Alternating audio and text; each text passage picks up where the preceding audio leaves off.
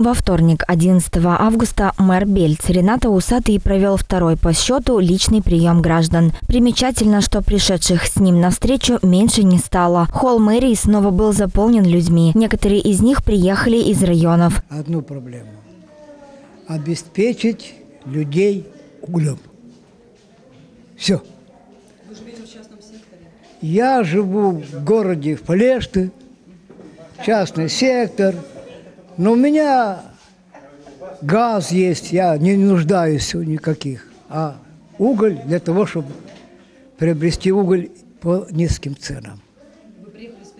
Специально приехал сюда, на прием записался для того, чтобы дали добро, для того, чтобы люди не мучились, не мучились. 4300 надо платить, а так будем платить 2, две с половиной. Бельчане жаловались на стоимость жилищно-коммунальных услуг, рассказывали о ситуациях, в которых многие из них оказались из-за низких пенсий и высоких тарифов. По поводу моей мамы.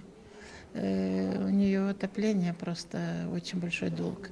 Она пенсионерка? Она пенсионерка, 88 лет, слепая. И давят на то, чтобы погасить долг. Пришла, да, да, за маму. Ну, Там вопросы решить, потому что мама, да, пожилая и очень себя плохо чувствует, давление высокое. Я хотела просто ее поддержать и как эм, неофициальный представитель, скажем так, за нее похлопотать. Ну и в первую очередь хотела поблагодарить Рената Усатова, потому что я смотрела передачу, я смотрела по интернету интервью его. Мне очень понравилось, как он ведет свою политику. И хотелось бы, чтобы у него была большая, крепкая группа поддержки. Эм, Немножко, конечно, за него переживаю в том плане, что очень большой груз он на себя завалил. Желаю ему здоровья, сил, терпения.